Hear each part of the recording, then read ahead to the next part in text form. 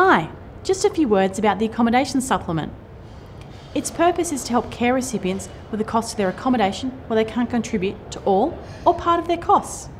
The supplement is paid directly to you, the service providers. The Department of Human Services sets a supplement based on the recipient's income and assets. The recipient does not need to inform the service provider of this information. There are three levels of the accommodation supplement for eligible recipients in permanent residential care. Your facility's buildings and condition determine which one you get. If your facility is new or significantly refurbished since 20 April 2012, then the higher supplement is paid. If the buildings are not new or significantly refurbished but meet specified building requirements, then the second level supplement is paid.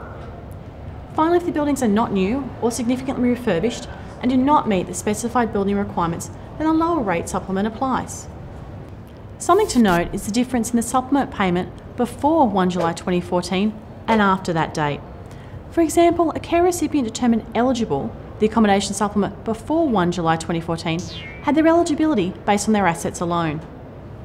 After 1 July 2014, their eligibility is based on both their assets and income, as well as meeting certain other requirements such as ACFI. The amount of the accommodation supplement paid to providers is also based on the supported resident ratio and the service status. And if you can't see the supplement on the payment statement, remember, prior to 1 July 2014, it was listed as an accommodation supplement. But after that date, it's paid as a means tested accommodation supplement or MTAS. And if new means information is provided, this could reassess the care recipient from date of entry. It may lead to a not low means resident becoming a low means resident in that case, entitlement to the MTAS would go to the provider and any RAD would need to be repaid.